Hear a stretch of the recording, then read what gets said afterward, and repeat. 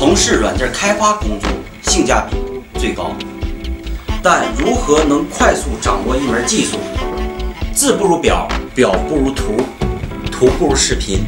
从今往后，我就是你身边的 IT 讲师。学编程其实是一件很苦的事儿。我的目标是够全、够新、够精。听高老师细说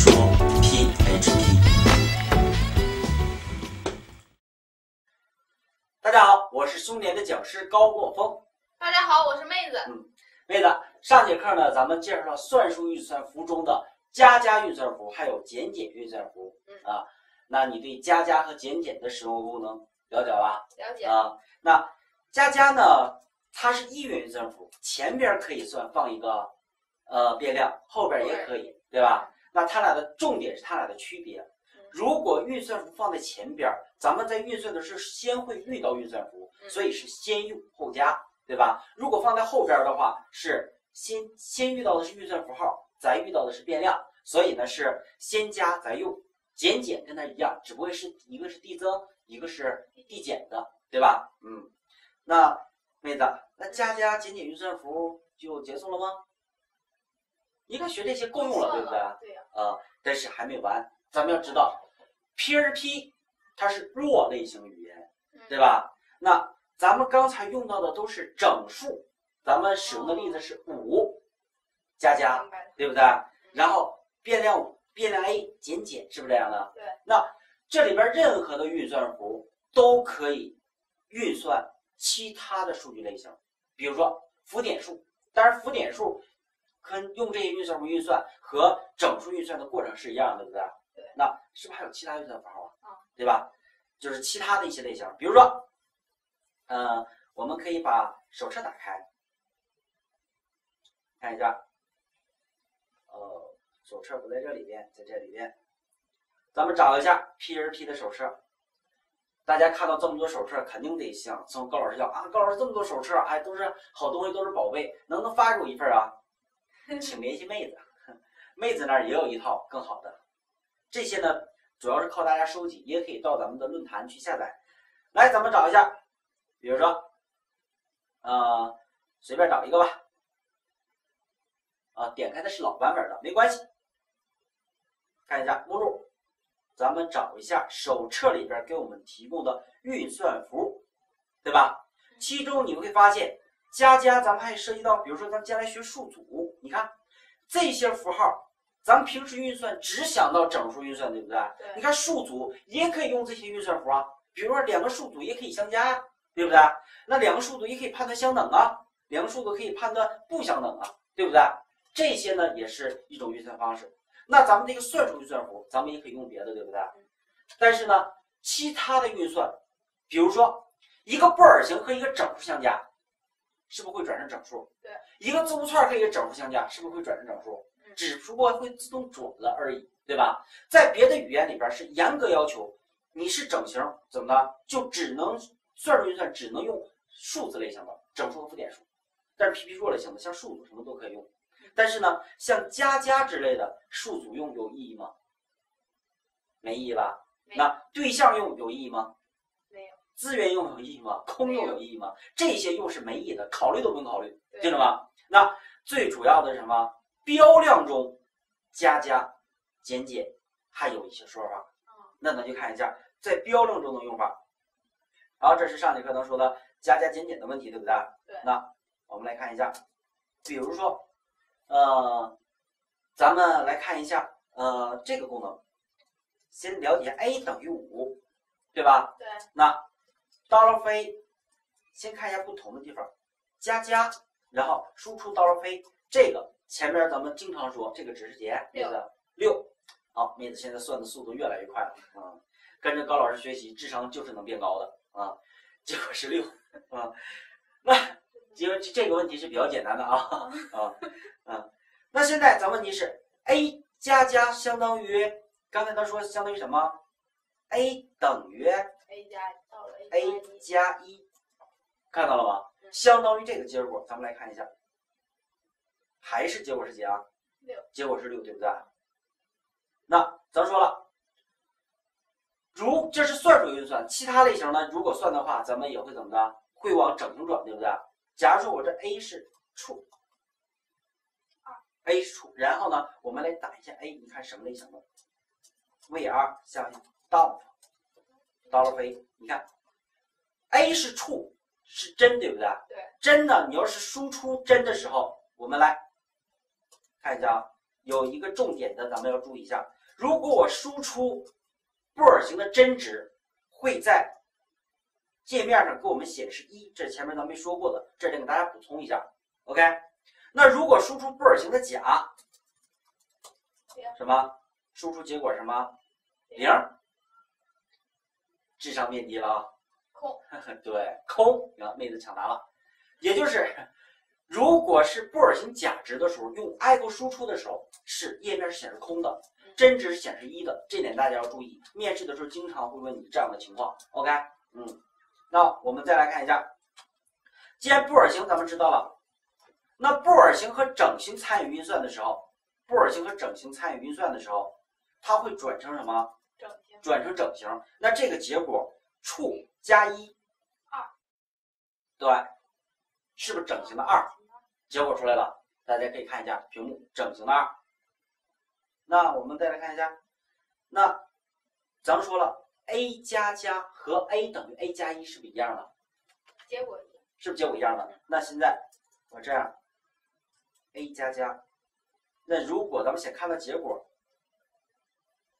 这样 a 加加，我再输出 a，a 现在不是整数的一，如果现在是整数的一，看一下，加加完之后是不是自增一？结果是多少啊？二。对，结果是二，整形对不对？对。那如果我这儿写 true，猜猜结果为什么？刚才都说了，a 加加相当于 a 等于 a 加一，对不对？刚才他看到 true 加一，结果是不是也是二？嗯。但是如果这个结果不是二的话，是不是两个说明作用是不一样的？嗯，对吧？那是还是不是呢？见证奇迹的时候，是 还是不是？不是看到结果了吧？还是布尔型 true，对吧？所以呢，加加咱们就是整形和浮点型自增一用的，对吧？对于其他类型的话，它和这个不完全相同。如果对于整形和浮点型来说，a 加加就相当于 a 等于 a 加一，对吧？但是你看布尔型是不是没有变化？嗯。所以说，标量的时候，标量中布尔型不参与加加运算，对吧？你如果想让这个布尔型自增一，其实不符合逻辑，对不对？嗯。所以 A 不支持。如果你非这么做的话，前面都学过自动转换，它会转成整形再加一，这点要记住啊！记住一个特点，布尔型不参与加加运算。那同样，我这如果是假值的话，对，结果还是 false，也就是加加或者减减怎么的，不起作用。对吧？嗯，那我就不用是浮点数了，因为浮点数和整形是一样的。上节课咱没说过，对不对？对。那咱说了，类型分八种，对不对？对四种标量，其他类型呢跟加加这都没关系，对不对？四种标量除了整形、浮点数、布尔型，那还剩什么？字符串儿。那如果我这块儿是一个字符 a，对吧？那如果我不用这个算，我用下边这个 a 加等于一，为了算一下这结果什么？一多少？一零加一对，是不是字符串跟一相加，一没有相连的作用，就是相加作用。a 前面没有数字，转成零，对不对？嗯所以呢，就是零加一，结果是多少啊？一，是不是一？对吧？那如果我这块儿继续这么做下去呢？结果多少？一直是一个变量，这是几个一？加一赋给它变成一，三四五六七，对，看一下，七，对吧？这是没问题的，对不对？那如果我现在的 a，我把它这块儿，我下边儿，哎，我这个去掉啊，我不这么做，看一下，零加加零，结果是多少呢？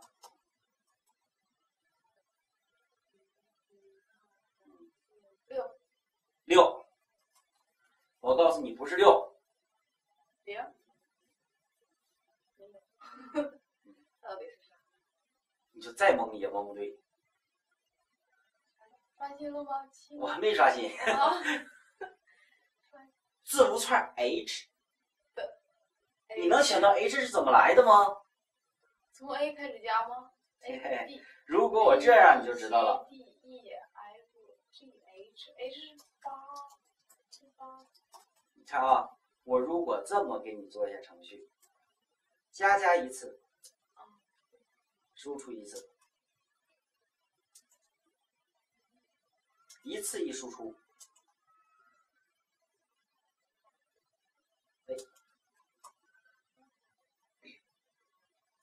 来，我们看一下结果。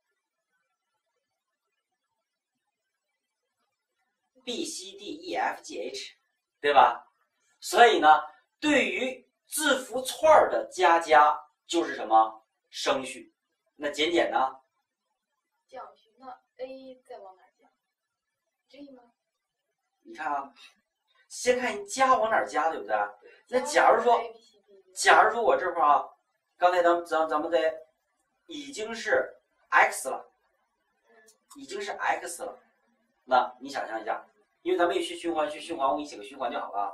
已经是 x 了，x y z Z，z 完了呢，是不是这意思啊？对呀，变成两个字母了，a a，这样对 a b，你看一下，两个字母，一个字母到头之后变成两个字母，两个字母到头之后变成三个字母，看到了吗？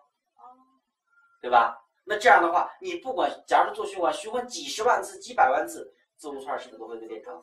对，啊、所以呢，这块儿比如说我这随便写一个，那下边的字母排序应该知道了吧？对吧？这就是我们这个结果。但是这个功能几乎怎么的？佳佳的这个功能几乎对，几乎我们用不到，只是有个这特性。将来大家呢对于 PHP 面试的时候，有可能面试官对这样的题会稍稍考你一下，问你结果是多少。那咱们需要注意什么呢？加加如果是做整数和浮点数运算或者减减啊，它们的作用和加等一或者减等一是一样的，是数学上的运算，对吧？那如果是其他类型的加加是没意义的，比如布尔型加加就没意义，所以呢，PHP 根本不支持布尔型加加，对不对？嗯，而如果做数学运算，加，呃，加等于一的话，真的话是不是就变成了二了，对不对？啊，所以这是这个。那字符串的加加就是升序，嗯，而对于别的语言来说，加加只支持什么？就是整形和和浮点型嗯，知道吧？不支持其他类型的，这就是咱们呃加加的问题。呃，在面试题的时候，加加和减减的问题呢出的很多，所以呢大家要好好研究这个。在做程序的时候，加加减减咱们用起来是比较多的，但是不是什么难点，它是一个重点，非常好理解，就是算学一加一的问题，对不对？嗯。啊、所以呢，大家对加法比较熟悉的话，学这个应该不是什么难题的。嗯，好，这就是我们呃这节课。那这节课咱们也把呃运算符中的算术运算符给大家都介绍全了啊、希望大家在以后学习中能够怎么的，好好的去使用。呃，当然了，咱预测符还没介绍完，还有其他预测符啊。好，那这节课就到这里，谢谢大家。